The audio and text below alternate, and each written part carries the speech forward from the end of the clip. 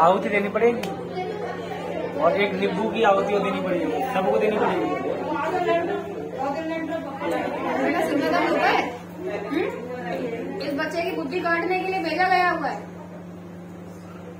इसलिए ताकि माँ बाप से कट जाए।